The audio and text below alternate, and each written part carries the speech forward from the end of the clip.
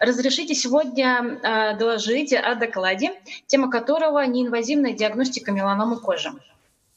А, я, пожалуй, сверну а, вот так.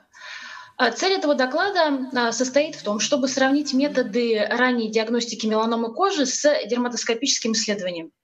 Ни для кого не секрет, что существует три основные, основных метода неинвазивной э, диагностики меланомы кожи, которые мы относим к инструментальным. Это конфокальная сканирующая лазерная микроскопия, мы сегодня поговорим, сиоскопия и дерматоскопия. А, помимо этого, я еще сегодня расскажу об одном методе неинвазивной диагностики меланомы, но он больше относится к лабораторному методу исследования. Задачи перед нами стоят очень легкие. Мы должны с вами сравнить и э, дерматоскопическое исследование с э, возможностями конфокальной сканирующей лазерной микроскопии. Следующее определить, э, сравнить, точнее, спектрофотометрическую интракутальный анализ с дерматоскопией, ну и также определить их механизмы работы. Может, могут ли эти методы исследований э, заменить дерматоскопию или э, быть дополнением? Попробуем сегодня это узнать. Когда к нам приходит пациент, и у него жалоба на новообразование кожи, у нас есть э, три пути а, ведения, э, тактики ведения этого пациента. С одной стороны, мы посмотрели на пациента, выполнили э, осмотр кожи, собрали анализ, а, анамнез, прошу прощения. После этого мы можем сказать пациенту, что Пожалуйста, динамическое наблюдение. Один раз в год приходите к нам, у вас все хорошо. Все новообразования, которые вас а, волнуют или которые мы увидели, они а, имеют доброкачественные характеристики. С другой стороны, возможно такая ситуация, что а, имеется какое-либо новообразование кожи, которое для нас подозрительное и у пациента есть какие-то жалобы к этому на образованию кожи, и у нас есть какие-то к нему, грубо говоря, вопросы. Тогда в таком случае мы можем предложить пациенту краткорас... Э, краткосрочное наблюдение. Сказать пациенту, что через три месяца приходите к нам или через шесть месяцев, в зависимости уже от ситуации. А при повторном осмотре мы пациенту можем предложить уже какую-то тактику лечения. И чаще всего это все у нас выливается в выполнение биопсии. С одной стороны, выполнить биопсию ничего сложного не представляет. Но у нас есть две проблемы. С одной стороны, одна меланома, выявление одной меланомы требует 20-39 различных биопсий. То есть очень часто людям выполняют, пациенты наши выполняют а, биопсию на образование кожи, и эти биопсии можно было и не выполнять. С другой стороны, из-за того, что такое большое количество выполняемых биопсий имеется, а, выполнение гистологического исследования превращается в рутинное. И в двух процентах случаев выявля... А, исследуется, а, так скажем, тот материал гистологический, который мы отправляем на исследование, только исследуется гистологически 2% от всего на образование кожи.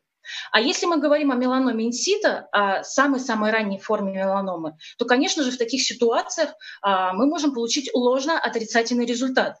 То есть мы получаем э, результат исследования, что на образование доброкачественное, хотя исследовано только 2%, а на самом деле э, в этом на образовании кожи был какой-либо участок, в котором уже была меланома инситу. Это ложно-отрицательный показатель, и он тоже часто встречается. Поэтому выполнение биопсии всегда должно иметь показания, четкие показания. И мы должны уже подразумевать, можем ли мы увидеть меланому инсита в этом новообразовании или нет. И это мы должны предполагать до биопсии. Возможно ли это? Это вопрос, который нам сегодня стоит рассмотреть. С одной стороны, нам предлагают а, один из методов исследований – конфокальной сканирующей лазерной микроскопии. Этот метод э, на данный момент в России используется больше только в научных институтах, э, используется в различных исследованиях, но вот так вот, чтобы использовался он рутинно, пока мы до этого не дошли. Э, что основной принцип механизма э, данной э, сканирующей лазерной микроскопии? Механизм заключается в создании трехмерной поверхности того новообразования кожи, который мы видим. А, здесь представлен общий, общая схема того, как с а, датчика выходит определенный лазер, который проникает сквозь слои кожи, а, как описано, примерно это 2 мм, достаточно глубокий, глубокая такая а, способность увидеть, да, что в либо коже. И мы можем увидеть вплоть до базального слоя кожи, то есть полностью весь эпидермис и даже дерму. Это здорово и хорошо. Помимо этого, отражающий луч и э, попадает на анализатор, и мы видим различные картинки, которые э, демонстрируют нам, что находится в каждом слое кожи, и в том числе дермы. Ну, кожа, эпидермис и дермы.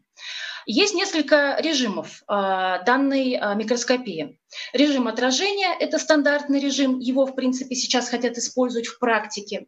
И флуоресцентный метод. Он чаще используется в научной а, среде и в рутинно пока еще не выходит. Помимо этого, конфокально сканирующую лазерную микроскопию используют как in-vivo, то есть можно использовать, э, вот э, пациент пришел, мы можем использовать данный а, метод исследования, либо инвитро, когда новообразование кожи уже было удалено, и его уже смотрят после операции. А, и когда происходит а, прохождение луча сквозь элементы кожи, так скажем, меланосомы или участки с большого количества меланина они на изображении визуализируются иначе.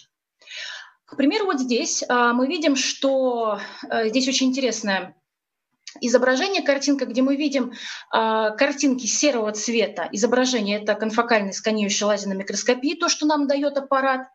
И э, с другой стороны, э, мы видим с вами гистологические исследования, которые соответствуют этим изображениям. Все хорошо, но большинство исследований, посвященных данному методу э, исследования, они затрагивают не онкологическую практику, не меланцитарное образование, а затрагивают вопросы дерматозов, дерматитов различных. То есть чаще всего этой, э, этим методом э, исследования пользуются косметологи либо дерматологи. Ну, я, как уже сказала, преимущественно в научной среде. Также вот здесь мы можем увидеть одно из изображений, где, а, пожалуйста, нам аппарат показывает, что в данном образовании кожи имеется нарушение архитектоники шиповатого слоя, однако из-за чего это происходит и с чем это связано, нам данный метод исследования не может а, ну, определить. Есть часть исследований, которая посвящена диагностике, ранней диагностике меланом. Но, а, к несчастью, ни одно из исследований в большей точности смогло нам помочь в дифференциальной диагностике меланомы и меланоцитарных неусов. Лазерная микроскопия конфокальная, эти два наобразования, по сути, видят одинаково, потому что основа, механизм этой микроскопии э, лежит в анализе меланина. А меланин скапливается и в меланомах, и, конечно же, в меланоцитарных неусах. Поэтому данный метод э, в плане ранней диагностики меланомы пока еще не усовершенствован. Здесь тоже есть одно из изображений. Э, это изображение э, показывает нормальное строение кожи с большим количеством кератиноцитов. То есть это примерно, так скажу, о плоскоклеточном раке идет речь. Здесь тоже есть некоторые вопросы. Следующий метод исследования – это спектрофотометрический интракутанный анализ, или чаще всего мы э, видим это слово, его часто используют э, специалисты, это сиоскопия. Тоже один из методов, э, который основан на пучке уже другого света, не лазера, а именно света. В этом пучке находятся три различных световых волн различной длины. Анализатор, вот этот аппарат он предоставляет эти, этот свет, падает на новообразование кожи, которое мы исследуем. Дальше происходит отражение от э, участков этого новообразования кожи, и компьютер анализирует, что же там отразилось, и мы видим несколько вариантов изображений. Там чаще всего э, в компьютерной программе мы видим 8 различных изображений. Что же они нам показывают? Эти изображения видят, э, какое количество коллагена Э, имеется в данном наобразовании, какое количество гемоглобина находится в данном наобразовании кожи, меланина, причем меланин как э, поверхностный, так и внутридермальный. Это нам все может э, помочь в этом сиоскопе. То есть мы можем увидеть различные хромофоры, это меланин, коллаген и гемоглобин, и уже по соотношению этих структур понять, а что же это за новообразование кожи. Но в сиоскопии есть э, один момент – то, что, опять-таки, какой мы видим меланин, внутридермальный, поверхностный ли это меланин, нам это тоже не, не помогает определить на образование доброкачественное это или на образование злокачественное. Мы говорим о меланоме или нет. И каких-либо исследований, посвященных диагностике, ранней диагностике меланом, как таковых и не имеется. Есть несколько исследований, в том числе русских, которые посвящены э, диагностике меланом и э, меланцитальных новообразований. И то в этих исследований, в исследованиях нет э, четкой, э, четких рекомендаций, как выполнять эту сиоскопию и где же, э, в чем же она нам может помочь.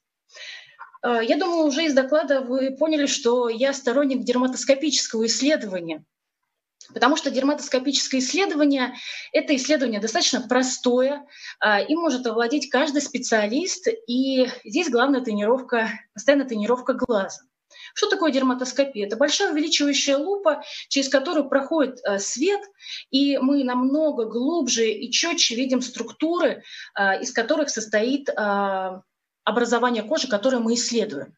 И есть четкие структуры. Если мы видим точки, мы понимаем, что, возможно, это новообразование будет расти в длину. Если мы видим какие-то асимметричные участки или бело-голубую вуаль, мы можем а, заподозрить а, меланому или меланому инситу. Все зависит уже от а, того, какое мы видим новообразование. И дерматоскопия в этом, конечно же, хороший помощник. Но дерматоскопия нам позволяет увидеть на ранней а, стадии меланому. Действительно позволяет. Единственный минус дерматоскопии состоит в том, что это очень субъективный метод. У нас нет какого-либо анализатора, который может продублировать нашу идею. Э, врач посмотрел, увидел на образование кожи, Появились ли у него подозрения? Смог ли он там увидеть меланому инситу? Это зависит не от прибора, который он держит в руках, я говорю о дерматоскопе, это зависит уже от его глаза.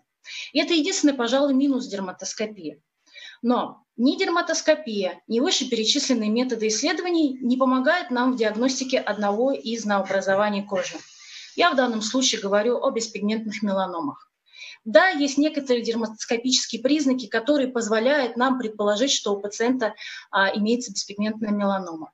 Но никто, ни один из этих признаков, ни, конфаль, ни конфокальная лазерная микроскопия, ни сеоскопия, ни дерматоскопия нам не позволяет выявить на ранней стадии и вообще выявить беспигментную меланому. Это наша огромнейшая проблема.